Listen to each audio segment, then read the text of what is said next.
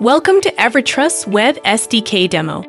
We will explore an example of how identity and electronic signing services by Evrotrust are integrated into the web application of bank.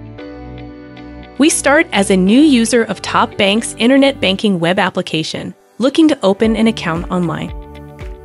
To begin the process, the user first needs to provide personal IDs and a phone number. A quick check in the background confirms that the user is new to the bank.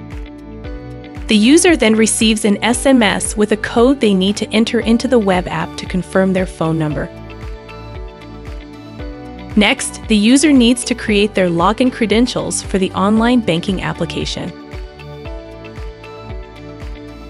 Then, the user reviews and agrees to the policies required in order to be identified remotely.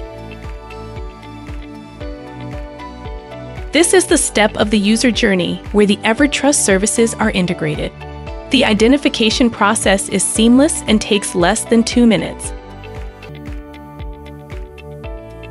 First, they have to scan their ID document using the camera on their device. Following the instructions on screen, the user takes a photo of the front and the back of their ID document.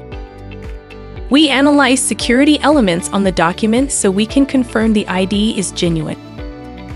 Then, the user takes a video selfie. Through biometric analysis, Evrotrust compares the captured image with the photo from the ID document to make sure nobody is impersonating the user. Identification is successful, and the user is ready to proceed to signing the documents for opening an account with TopBank. Signing with Evrotrust is easy.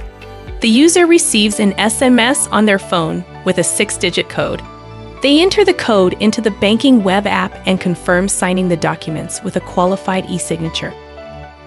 The documents for opening a new bank account are successfully signed.